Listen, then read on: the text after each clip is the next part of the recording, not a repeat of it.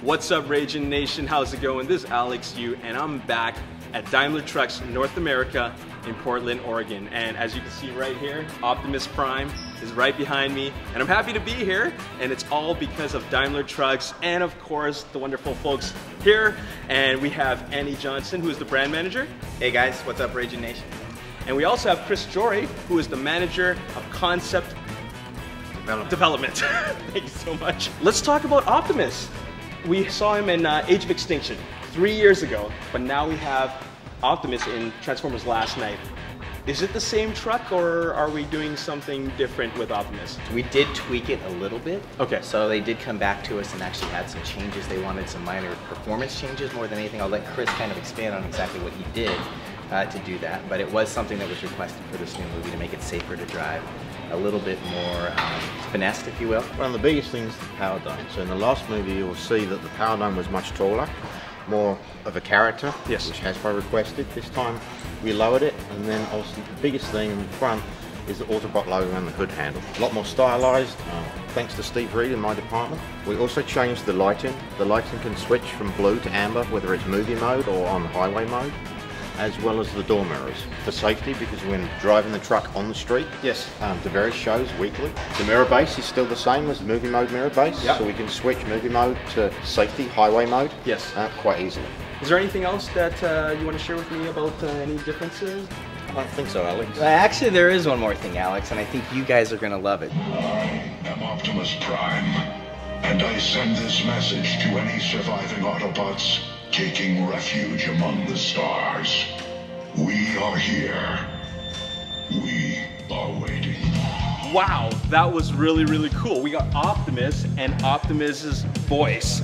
And you guys got Peter Cullen for that? Yeah, actually, it's it's a really cool feature. This truck makes appearances. There's two of them. There's the stunt truck and the beauty truck. They make appearances almost every week still. Wow. Um, this long after the movie being out. And they actually they already are scheduled out probably the next 18 months, believe it or not. So Wow. We thought it was a cool ad. Paramount originally came to us and they came up with it for some promotional appearances with Uber Yeah. that we'd done in the past in the last movie, and then we continued it on. Um, it's great. This thing's at parades. It actually goes to Comic Cons all over the place. It goes to SEMA, truck show, or the car Yeah. show you'll see in Las Vegas. Um, it's actually even done some great work with like cancer patients, kids who Wow. um, some charity work. It's just awesome. We love having the opportunity to do that. It just adds a little bit more touch. Peter was great with his voice and stuff, and Yeah. it just makes it a little more realistic for people. Well, that's absolutely fantastic to know that Optimus is really, really proactive even outside of the movie. So, really, really awesome. I'm curious. I've been here three years ago and I saw Optimus. I'm seeing him again. There's got to be something else you can show me. Uh, Alex, absolutely. You know we have. I'd love to surprise you and uh, the Ragin Nation. So uh, let's step out back and see what we've got. Let's do it.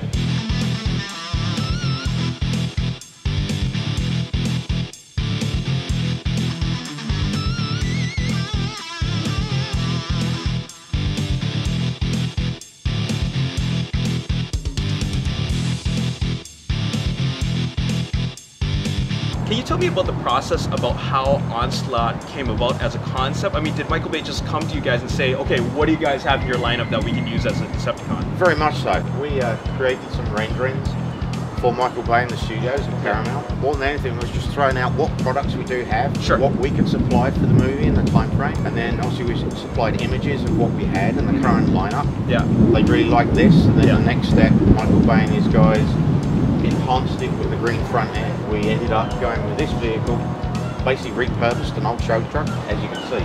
Onslaught turned out really well. It's got a major presence. What kind of specific modifications did you make for Onslaught?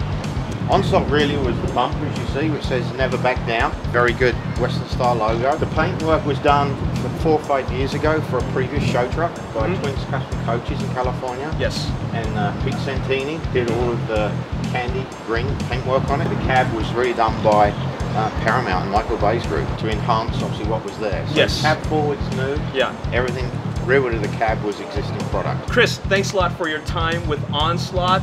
I really, really appreciate it. Welcome. And I was wondering, since uh, Onslaught is out here, do you think we could take him for a spin? Absolutely. Let's do it. Wow. All right, we're gonna roll out. Woohoo! Check that out. We can see all the, the stuff in the back. Hey, let's check it out. Let's check it out. Holy. oh my god. Wow. This is, uh, I don't know what to say. Holy, we're, we're, we're inside Optimus. Hey look, it even comes with an Optimus pillow.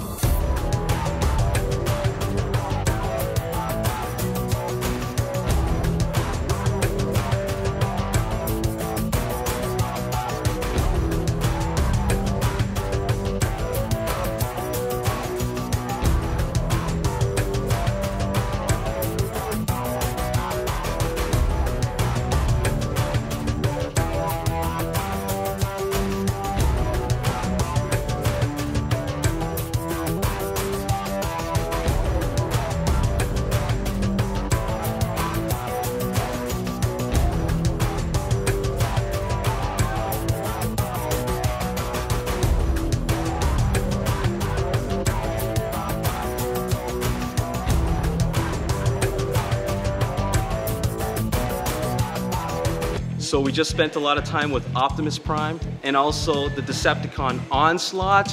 And I cannot thank Daimler Trucks of North America enough. Is there anything else you want to say to Yeah, we'd like to, say fans? thank you, you know, to the fans and everybody. We just want to say thank you again to Michael Bay. You know, he's been awesome for us. He gave us this opportunity, and you know, working together with him came up with these awesome characters that continue to be loved by kids and adults and everybody everywhere. So thank you, Michael.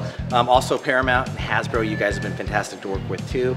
We uh, we love working and collaborating with them on a continued basis. And but most of all, I think I want to thank the fans, uh, both for the Ragin Nation and Transformers in general, but you, Alex, for sure, man. I want to say thanks again. Keep it up. We love your work.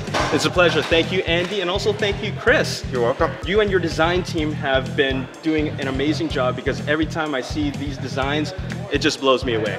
Thank you. I also like to thank our Daimler design team, as you just mentioned, E-Black Design and Twins Custom Coaches. And thank you so much to the fans and all the viewers watching at home. If you want to learn more about Western Star trucks, visit westernstar.com. And they're also on social media, so they're on Twitter, Instagram, Facebook, and YouTube. Got a lot of great content there.